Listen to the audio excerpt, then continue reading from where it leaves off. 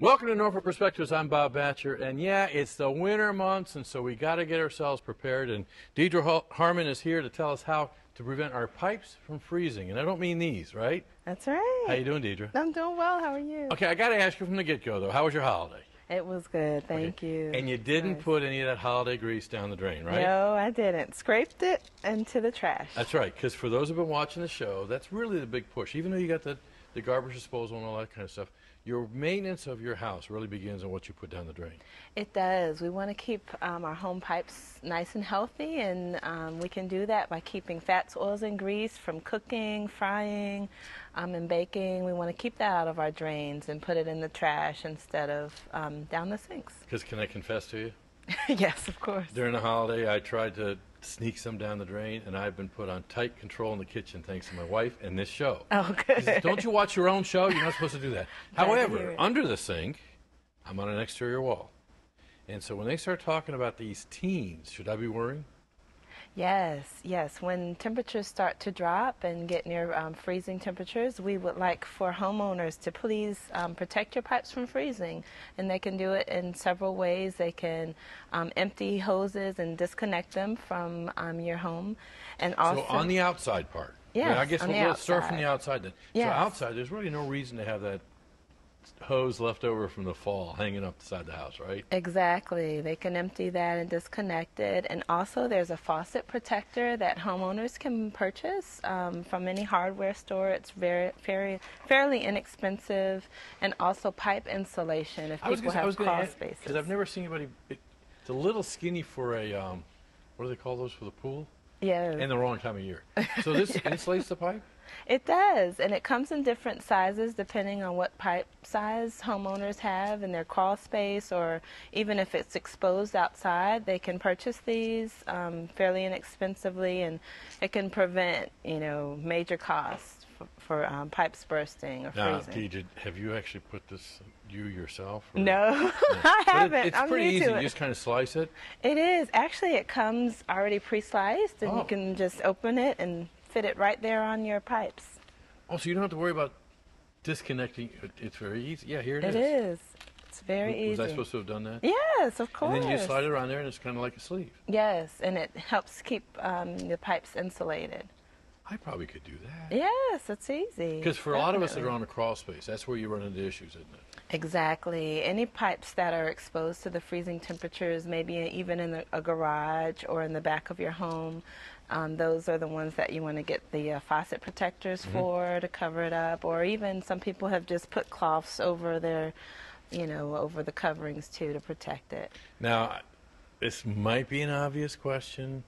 Both hot and cold pipes? Yes, hot and cold pipes, and even inside the home, um, homeowners can let their faucets drip just a bit. Okay, I was going to ask you about that. I mean, I've heard about the dripping faucet. So, you- Yes. but you're not talking about a, a steady stream, right? No, not a steady stream. We don't want to waste water, but just um, when temperatures, you know, get really low, just to let it drip on both sides, the hot and the cold. Now, at what point should you kind of start putting the radar screen up to kind of do the dripping in the, in that like below 30? Um, I would say below 30 or getting right around 30. It would be a good idea to winterize your home and pipes and even irrigation systems or pool systems. Those can be affected as well outside. Now, if somebody's kind of catching this and says, "Oh my gosh, what were they going to do with that tube?" You can go on Norfolk.gov, and we've got these kind of uh, Yes, uh, solutions to to uh, preventing the pipes from freezing because it is a mess. it is. It's Now, and I'm sure there's a builder out there saying, "Daggone it, I just built a house, and that's not a concern." But we're not really talking about some of the new construction. It's really in the older construction. Yes, yes, and any pipes that are exposed to the weather, the elements. I mean, it's better to be safe, you know, and, and preventative in those measures than to, you know, kind of chance it. There you go. okay, Deidre, let me ask you, where does the homeowner take responsibility for the water pipes versus the city? At what point?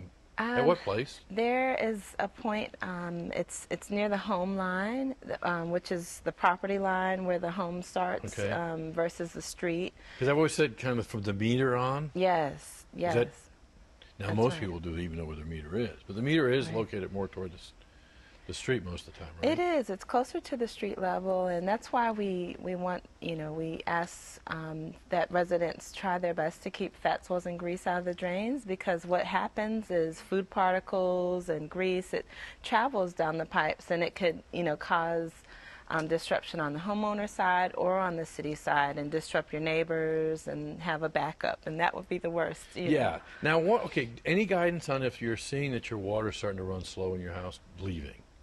If the water's starting to run slow, they're welcome to call um, our emergency number and have it checked. If they have a concern, or you know, if they have a concern about it, they can ask our staff about it and have someone come and check it, or um, just keep an eye on it, monitor it.